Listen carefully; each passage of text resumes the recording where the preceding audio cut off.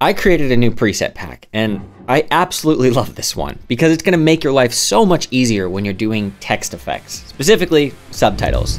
And it's just chef's kiss. There's also a free sample, so you can try it before you buy it. Let's check it out.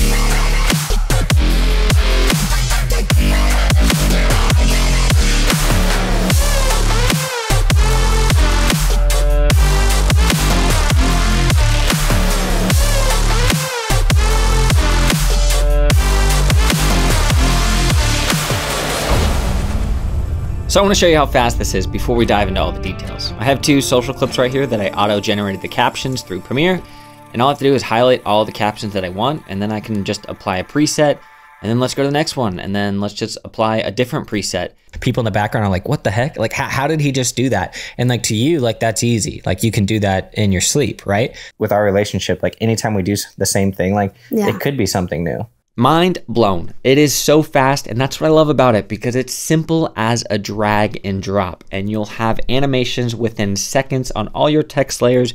That is seamless. So, in today's video, we're going to cover everything you need to know about this pack but click that link in the description down below and that'll bring you to the launch page where you can read all about this pack and see what's inside and kind of get a feel for it. And you can also download a free sample as well. After downloading, all you have to do is right click and extract all of those files and then head on into Premiere under the effects tab and right click on presets, import presets, and then click your extracted preset file. Click open. As soon as you do that, you'll see that we have now under Kyler Holland presets, subtitles V2. And if you start opening these up, you'll see that there is a ton of presets in here and they all do a ton of things. So let's kind of show you and break down what this does. For starters, let's just create a text layer. And I'm going to center that, TT all caps, and just put that in the center of my screen. Let's make this text not too long so it's just nice and quick, just so we can see what these animations do. This is the basic process. You have a text layer and you want to apply an animation to it. All of these are click and drag. So favorite combos, basically my favorite combinations of a ton of these effects, because that's the main selling point of this pack. You can apply one effect like this bounce down effect, right here. And then you can also stack that with another effect, like a 3D flip backwards. You can stack as many as you want, and then that will give you that seamless text. So I highly recommend playing around and honestly adding as many effects or as many transitions that you want because you will get a custom um, animation per se. With that said, as soon as you start applying a ton of these effects, you might be like, oh, well, I have to like go to the effects controls and have to manually delete all of these um, effects? Well, no. So Premiere has a cool feature. You can right click and go to remove attributes. And as soon as you click OK, that will put your text layer back to normal. I've actually mapped this to my three key. So when I click three, it'll bring that up. So I can just click that and then it instantly removes it. In order to do that, just go to edit and then keyboard shortcuts and then click on three and then type in remove attributes and then just drag that up to three right there. That'll set that as the shortcut. So what I like to do for starters is just kind of get a feel for the pack. So I'm just going to make a ton of different text layers right here, like and subscribe. And these texts aren't the same length. So that's the fun thing about this pack. As soon as you drag on transitions and stuff, it will actually scale to the length of your text layer. So if I just drag it on that middle one, you'll see that it scales out here. And then if I drag this onto the last one, it'll scale out for that entire duration. So it's short and punchy. You can just highlight all of your text layers and drag on any animation you want. And then just like that, please like and subscribe. All of these transitions are fairly seamless, so you won't be able to tell when it's transitioning because the motion and the blur that I've added as well. With my new keyboard shortcut that I created, I'm just going to remove all those attributes and I am good to go with some more. Let's explain how the pack actually works. We have three layers to it. There's transitions, there's effects, and there's color. So the transitions in the general sense are all of my favorite combos. You have 3D, you have bounce, you have scale, and you have slide. They are as expected. When you open the scale, you'll see that we have scale constant down, scale down, scale height down, and you'll also see these plus signs. This denotes how strong that is. So for example, if I drag scale down to all of my layers, you'll see that it's just scaling down. There's no other animations, it's scaling down, it's pretty subtle, just like so. But now if I undo that and drag on scale down plus plus plus, you'll see that it's a little more aggressive and more punchy.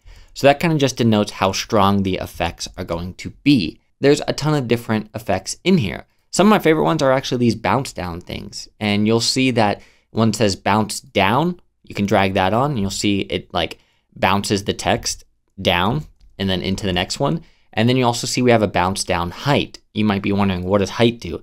Well, height actually also adjusts the height of the text. So it kind of squeezes it a little bit more. And sometimes this can make for a better transition. What I recommend is kind of just playing around with this uh, pack and then just start dragging things on, undoing it just to see what it does. So you have like slide downs, plus, plus, plus. This will basically make the text slide in and out.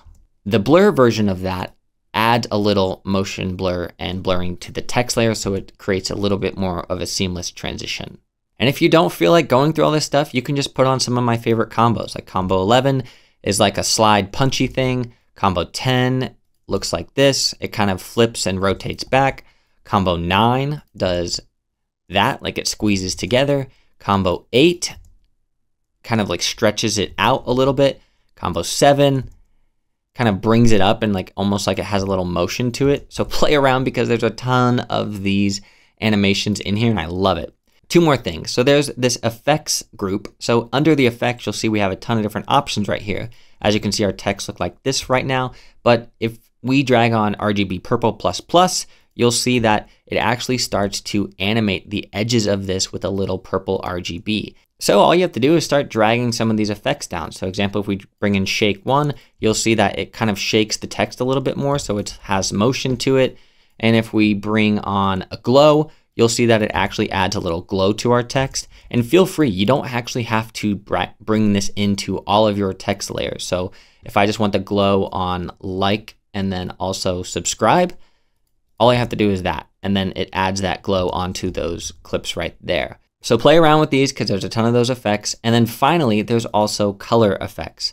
So if you want to add color, you can also do that as well. And there's a ton in here and it just makes it seamless. So when you have your animations, adding a little bit of color will make your text pop a little bit more. If you'd like to see a detailed view of how I actually created this pack and so much more, then consider becoming a YouTube member and you'll instantly get access to a ton of great perks, including the behind the scenes of how I made this preset pack. Now let's show you how to actually create captions within Premiere Pro, upgrade those captions, and apply these presets to that caption track that we just made. All right, so we have a clip here that I want to attach captions to and animate those captions, but I don't have anything in the timeline currently. How'd you come up with these names right here? So you just want all you need to do first is actually create the captions itself. So head on over to the text tab. If you don't see that, go to window and then down to text. And then you probably will see something that says transcribe clip because it's not there, but you can also go up to edit, preferences, and then transcription, and then change some of these settings to automatically transcribe clips. And I have it set to only in the sequence. So that means every time I drag this in, it's automatically going to do this for me. Then you can give a quick read through right here and see if there's any errors. You can fix those right here, but I tend to do it on at a later point because I think it works better. Like this lot right here needs to be LUT. So I'm going to leave that and show you how I change that. Just click CC and then we're gonna not worry about any of these settings. And I like to drag all of these sliders to the left. This will give me the quickest possible scenario and then change the lines to single. But you can play around with this and change it to like 20 to get like three or four words on a line at a time. Drag it to left, click single, create captions. Now all you have to do is highlight all of the subtitles in your subtitle track and then head on over to Essential Graphics and then start changing the font. So I'm just gonna pick a font that I like I'm going to click TT so it's all caps, and then I'm gonna start scaling this up. So let's say somewhere around 95 works for me. This is extremely important, but make sure you click your zone in the center. This is going to be best. We can change the position later, but for the sake of all these presets, you always need to have it to the center, otherwise it will not work properly. So once you have that set, what I like to do is actually go back to my text and kind of scroll through here and see if there's any long ones. Because if I click on this long one, you'll see that it's actually broken up into two um, lines. So there's two things you can do. You can either just decrease your font size on all of it to make sure this is one line, or you can break this up. So I'm going to break it up. All of his lots. All of his LUTs. Lots. So I'm going to click C on my keyboard and then just simply break that right there. And now I can see I have two all of his LUTs. The first one, it, and it's also spelled wrong. So this is how I changed it. All I have to do is double click in there on the first one, all of his, and then remove that. And then this one, I'm going to just type in LUTs, right? So now it looks like that. Name all of his LUTs. and this is what I recommend is once you create your uh, text, then you can just edit them right here if there's any typos or anything like that. And then just highlight all your subtitles, go to graphics and titles, and then upgrade caption to graphic. And all you have to do is highlight all of your text layers and then pick any preset that you want. Let's do scale constant punch up and see what that looks like.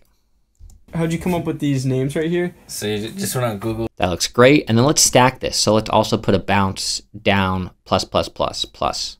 How'd you come up with these names right here? So you just went on Google and typed up uh, unique baby names. this man Googled unique baby names to name all of his LUTs. That looks incredible and it's pretty awesome. So if you want to customize this further, just click on any one of these layers and then head on to the effects controls. Do not do anything within the graphics up here at the top.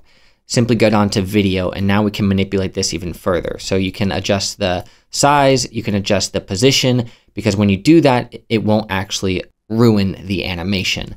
And then once you get something that you are happy with, all you have to do is click on that motion and copy that and then paste that to everything.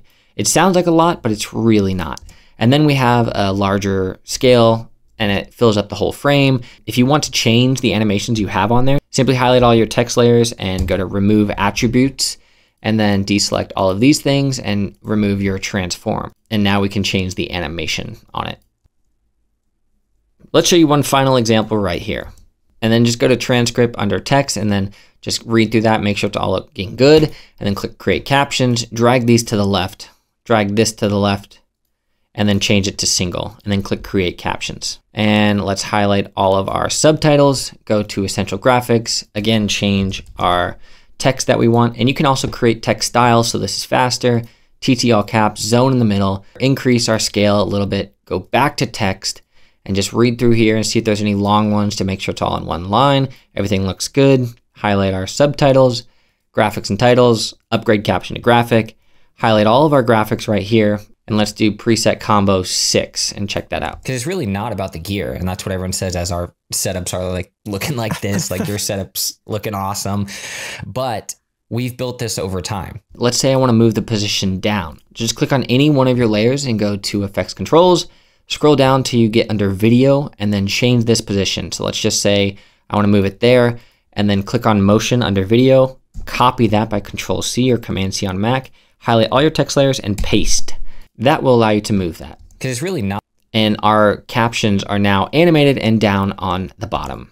And if you want to change the animation, just click remove attributes and then uncheck all of these top ones so it doesn't move our position and then click OK and then drag on a different animation. And that's pretty much it. I know it sounds like a lot and it's kind of crazy, but once you get the hang of captions and creating your own styles like that, the process becomes faster and faster. Like if I needed to, I can make a social video within two minutes, full animation, text, colors, all that stuff, but play around because every single effect in this pack stacks on top of each other. I'm excited to see what you guys make because I love when you send me stuff, but as always, if you like this video and you want me to create some more stuff in the future, click that like button and subscribe because I'll be making some more stuff. Later.